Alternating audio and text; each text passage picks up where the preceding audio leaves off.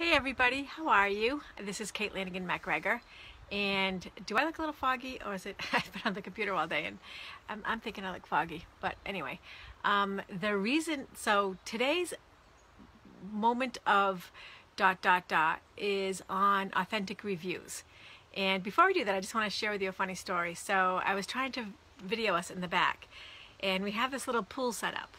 So, you know, here's the funny story.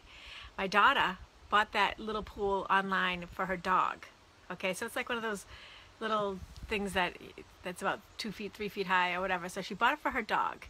And so, you know, it's been kind of out there and the dog went in at once or whatever. So my husband, you know, gets behind it and, you know, levels it off and fills it up and gets a filter for it. And, you know, now we have to watch the filter. So now this little this little pool that was for the dog is now so clean that my husband doesn't want the dogs to go in it. so the dog's out a lot in the dog pool. And yesterday, my two of my nephews came over and they jumped in the pool. So I thought that was pretty funny. I think my husband's been in it, my daughters have been in it. So everybody is in the pool except those poor dogs. So anyway, I wanted to show you it because I thought it was pretty funny. Uh, so anyway, today my serious topic is about authentic reviews. So I'm working on our Just UBU Authentic Marketing and the training today is on um, reviews and how and what your reputation is and how to get reviews and, and whatnot. And it's kind of interesting because when I was talking yesterday with somebody about this, she said, isn't that kind of like, you know, anti authentic if you're asking for reviews or you're looking for reviews or whatever? And I thought about that and I said, well, you know, you, you want the reviews to, to reflect who you really are. Hi, Joanne, how are you? Hi, Susan. Hi, Peter. So, so yes, in a way, like reviews are, you know, you hope that they're generated and authentically, and you hope that they actually accurately portray you and your business.